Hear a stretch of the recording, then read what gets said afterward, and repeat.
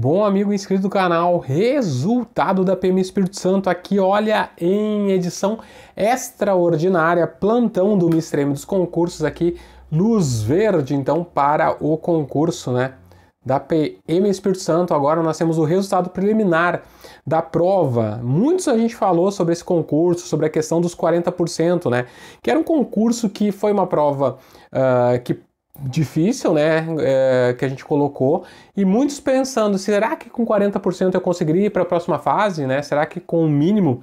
E eu sempre fui bem claro achando de que 40% era um índice muito baixo, talvez nós não chegaríamos nesse ponto, mas que provavelmente quem tivesse acima uh, de 40, uh, 40 pontos, ou seja, 50% estava garantido, né, com 40 pontos não tinha como você não passar para a próxima fase.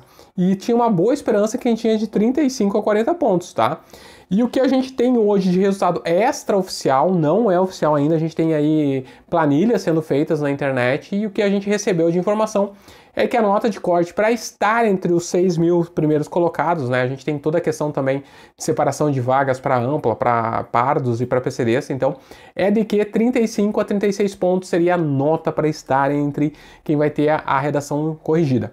Lembrando que se você olhar aqui 40%, tivemos 8.900 classificados com 40%, é um número reduzido também, gente, não é muita gente não que conseguiu os 40% tá? Então nós tivemos aí, então, extraoficialmente uma nota de corte entre 35 a 36 pontos, não sabemos ainda exatamente a nota, é, não tive acesso à planilha, tive acesso apenas à informação, tá? Lembrando que cronograma, gente, redação discursiva, muito importante, vou fazer um vídeo só sobre a discursiva aqui, tanto para PC Bahia como para a PM Espírito Santo, mostrar o que, que pode fazer a diferença a sua nota na redação nesse concurso, estando aí na colocação, por exemplo, quem está dentro das vagas entre os mil, a nota ficou 50, a informação extraoficial também é de que ficou 50. Então, o quanto que uma é de 50 para 36 pontos, 35, o quanto pode ajudar uma boa redação acima da mediana do concurso, tá? Isso eu vou fazer um vídeo para vocês aí semana que vem. Lembrando então que para discursiva, para essa redação aí você pode já mandar a sua redação para o professor Hansky Carvalho, né, que é uma parceria que a gente tem aqui no canal, para ele analisar a sua redação, ver se está legal, se a nota você consegue ganhar mais nota ou se qual seria a sua nota, né, segundo o professor Hansky, e depois do quando sair o resultado aí na sexta-feira que vem, nós estamos avaliando que seja no dia 23 de setembro o resultado da redação. Então, para que o dia 23 aí na sexta-feira você possa já a partir da nota que a banca te dá, saber se é possível você ganhar alguns pontos com recurso, tá? Lembrando também que a partir do momento que você manda a redação, você pode também adquirir uh, já o recurso com 60% de desconto com o professor Hansky, tá? A gente tem feito vários recursos em vários concursos policiais, né, e tendo êxito aí, pessoas conseguindo voltar para o concurso através de pontos que conseguiram na redação. Então, gente, isso aí eu vou trazer, acho importante a gente trazer como que é a dinâmica do quanto que pode modificar a classificação, a sua redação, a sua discursiva, quem foi bem. Então torça para ir bem na redação, não precisa recurso, não precisa nada, conseguir ir para as cabeças nesse concurso.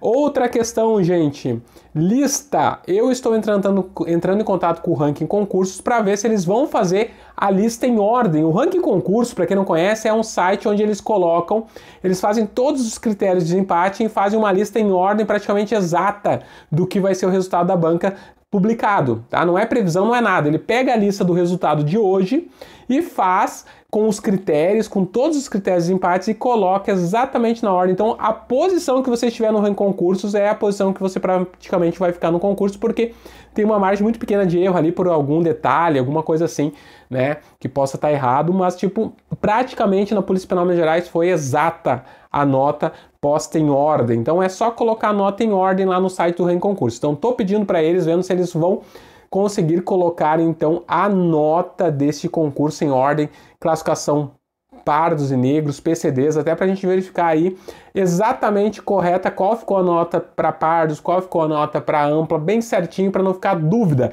Então, gente, notícia de plantão aqui no Mistremos Concurso.